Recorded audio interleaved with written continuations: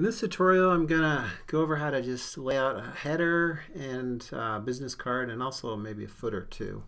Um, so basically the first thing we're going to do is uh, download this and I'll put this in the YouTube tutorial down but um, we're also going to go download some fonts from dafont.com and then download this right here.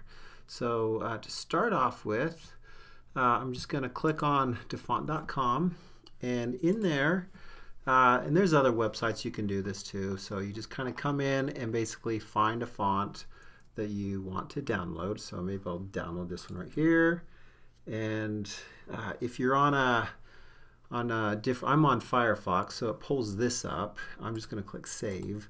If you're in Chrome, usually it throws it down the bottom. And if you click on the arrow and look at look for it in the downloads, that's where you're best to get that. So um, so maybe I'll download one more and then click OK.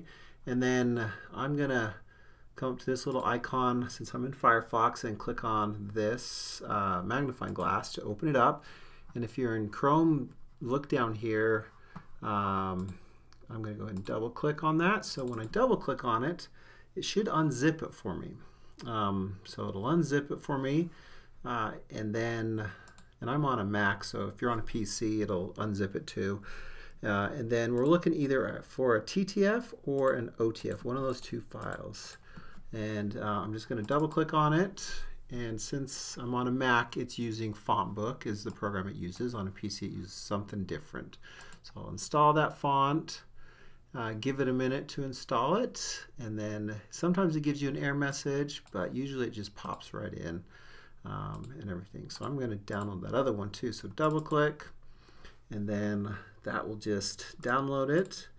And then this one gave me a whole bunch, so um, I can kind of pick and choose. Looks like there's some different types on here. Uh, I'm just going to install one of them. I don't need all of them. Uh, so I'll just do maybe this clean one. Double click. And same thing, it shoots it right into FontBook. On a Mac, on a PC, it would be something slightly different. Uh, and if it gives you an error message, just check that in. So now that I have those, I should be able to use that on any program on my computer, uh, like Word or Illustrator, PowerPoint. It won't work on uh, other programs, but like on Google Docs, but um, most software on your computer will. So now I'm going to go over here, and uh, if you're just watching on YouTube, I'll put this link in the, the information below. So I'm going to go ahead and click on that. And from here, it should shoot you to this screen. Uh, there will be a graphic showing up. It's being a little bit slow. And if you just click on this guy right here, that should let you download it. Um, and once again, I'm just going to save it, or I can just click open too, either one. And then from there, it, it should throw it into your downloads folder. So there's my folder. Just double click on that and then it should open it up in uh, this program. So Illustrator, Adobe Illustrator, uh, you probably have to log in once that does. I'm already logged in, but um, log in with your account um, and then you should be good. So the first thing I'm going to have you do is just come in here and just kind of play with this. So I'm just going to double click on it and then just type out a name. So I'm going to just type out um, uh, my name on there. That's going to be where my header goes. And then as soon as I double clicked on that, I'm going to click off onto this selection tool. And, and you actually might be in this essentials where you don't see as many tools. So I'm actually going to jump into that. But if you want to do classic, you can. Um, and then once you click on that, over here in your properties, if you click back onto it, uh, sometimes you have to be on the text tool, sometimes you just have to select it. Just don't click inside of it because once you do that and you try and change fonts, it won't work. So click on the selection tool, see uh, left mouse click, and then I'm going to go ahead and just click uh, on this, and then hopefully I can find one of my fonts that I downloaded. And, and sometimes the biggest challenge is remembering what you actually downloaded. So I can come in here and just scroll down uh, until, and, and they're typically in alphabetical order. So once you find the one that you want to, to use, then um, you can position it. Over here you can play with bold, you can play with fill color.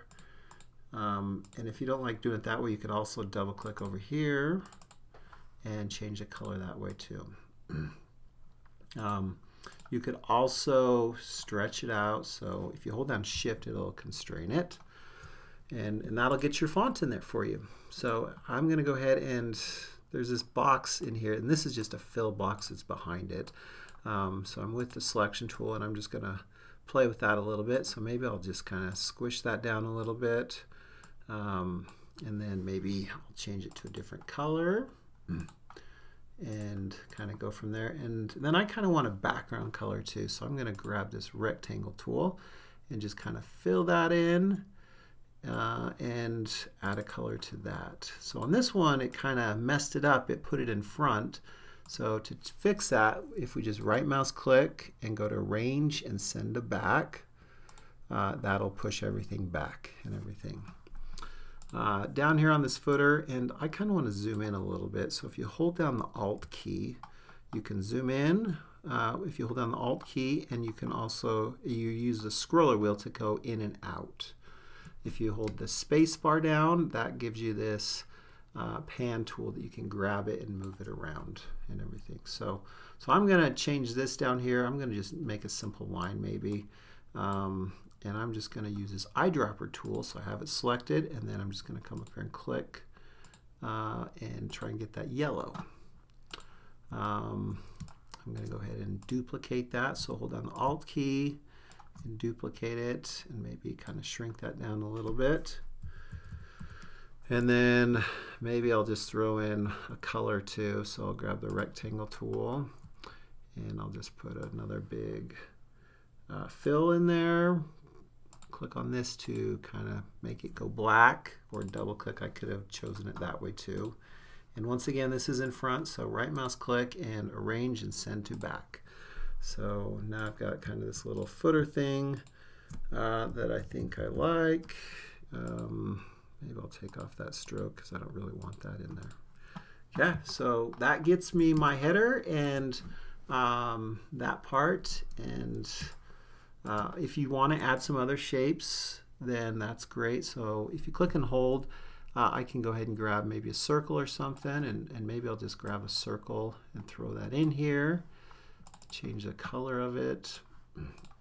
And right now it is in front. I want to put it in between somehow.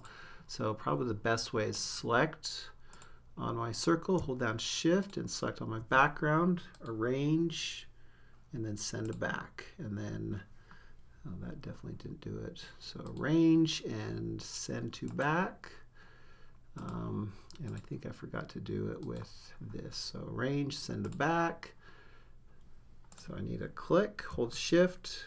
So now I've got both of them selected. Right mouse click, arrange, and send it back. And then that should pop that in there. Um, position that where I want it to be. And anything that over, overhangs like I've got right here, um, it's going to get cut off with this. I mean, this whole box, there's a artboard is what they're called, and anything that's not in there and that's overhanging, when you export it, it'll get cut off and stuff. So I'm going to just add a quick little drop shadow. And so I just held down the Alt key to duplicate. Um, maybe I will zoom in and play with that, arrange that, send it backward. I think that should just put it one. Uh, and then maybe change this up to a slightly lighter color. So, and you can do all kinds of stuff with this. So play with it and have some fun uh, with your footers. Uh, maybe I'll hold down the Alt key and duplicate this element and have it kind of be down here too, or whatever you feel like doing, that's kind of what you do. So that's kind of how you play with uh, your headers uh, and your footers uh, on this.